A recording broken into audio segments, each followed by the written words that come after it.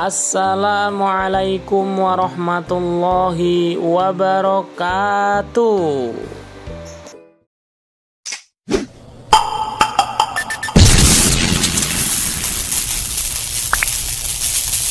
Halo teman-teman subscriber, berjumpa lagi di channel Aam Salman 354. Kali ini saya akan membagikan ide jualan membuat minuman kekinian es jelly susu yang simple, enak, creamy dan bikin ketagihan para konsumen.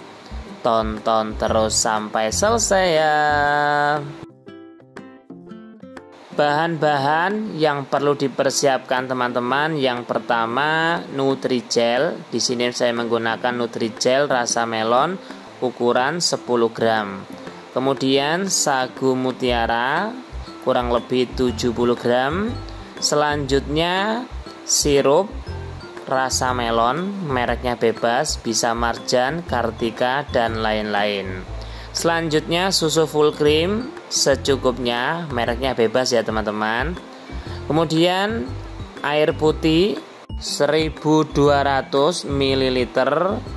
Kemudian es batu secukupnya dan yang terakhir cup ukuran 14 oz.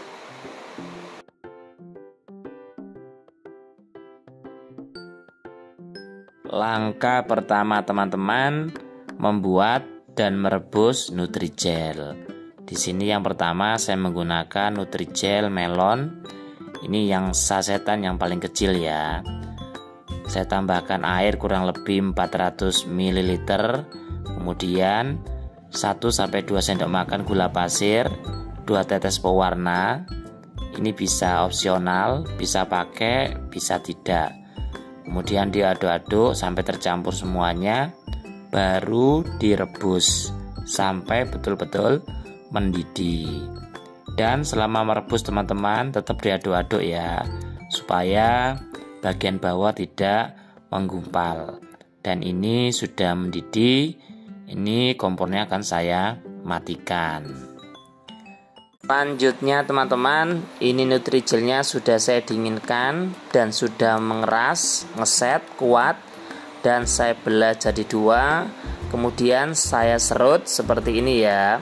Bisa menggunakan alat seperti ini teman-teman atau juga dipotong tipis-tipis memanjang. Tapi kalau menurut saya kalau ingin cepat diserut seperti ini.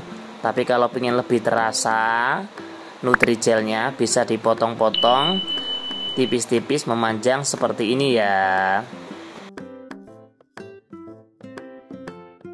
Langkah kedua teman-teman merebus sagu mutiara.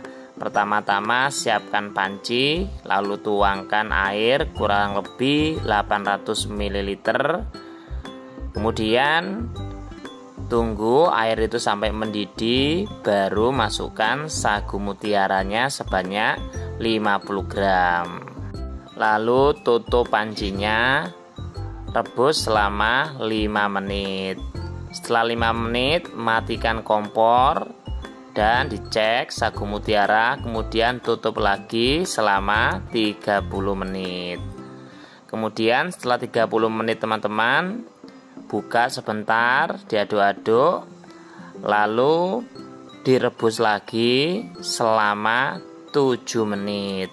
Hitungan 7 menit ini teman-teman dimulai dari mendidihnya air dari sagu mutiara. Kemudian ditutup lagi sampai 7 menit. Setelah 7 menit hasilnya seperti ini ya teman-teman kemudian matikan kompornya dan tunggu sampai betul-betul dingin selanjutnya teman-teman ini adalah bahan-bahan yang akan saya gunakan untuk membuat es jelly susu kekinian sangat simpel ya Langkah terakhir memasukkan semua bahan-bahan ke dalam cup. Di sini saya menggunakan cup ukuran 14 oz. Dan bagi teman-teman yang baru melihat video ini, jika berkenan jangan lupa like, comment, share, dan subscribe serta tekan tombol loncengnya supaya teman-teman tidak ketinggalan dengan video-video terbarunya. Terima kasih. Oke teman-teman, yang pertama tadi saya masukkan es batu sampai setengah cup. Kemudian yang kedua, saya masukkan sirup rasa melon. Di sini saya menggunakan merek Marjan. Teman-teman juga bisa menggunakan merek yang lain. Kemudian yang ketiga ini saya masukkan jelly dari Nutrijel rasa melon juga. Bisa diserut seperti ini atau dipotong kotak-kotak ya teman-teman. Kemudian saya masukkan sagu mutiaranya satu centong dan yang terakhir nanti akan saya tuangkan susu full cream kurang lebih 100 ml. Dan bagi teman-teman yang baru memulai usaha jualan minuman, saya doakan semoga Jualannya tambah laris manis, lancar dan barokah. Adapun resep lengkap dan HPP atau biaya dari keseluruhan minuman ini akan saya tulis di deskripsi ya. Semoga bermanfaat. Selamat mencoba.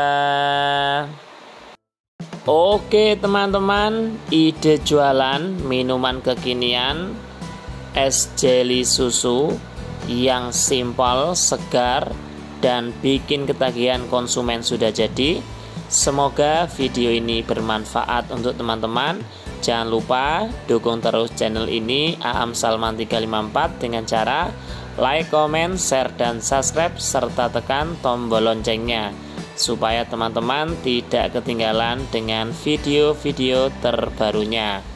Oke teman-teman, sekian. Terima kasih. Wassalamualaikum warahmatullahi wabarakatuh.